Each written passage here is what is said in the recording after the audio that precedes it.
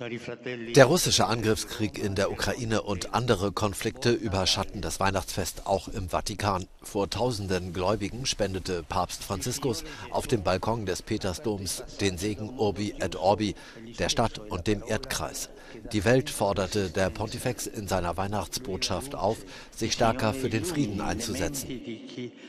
Möge der Herr den Verstand derjenigen erleuchten, die die Macht haben, die Waffen zum Schweigen zu bringen und diesen sinnlosen Krieg ein sofortiges Ende zu setzen. Leider ziehen es die Menschen vor, auf andere Gründe zu hören, die von der Logik der Welt diktiert werden. Unsere Zeit erlebt auch in anderen Regionen, auf anderen Schauplätzen dieses Dritten Weltkrieges eine schwere Hungersnot des Friedens. Papst Franziskus erinnerte vor allem an das Leid der Kinder, nicht nur in der Ukraine, sondern auch in Syrien, Libyen, dem Libanon, Jemen, der Sahelzone, Iran und Myanmar.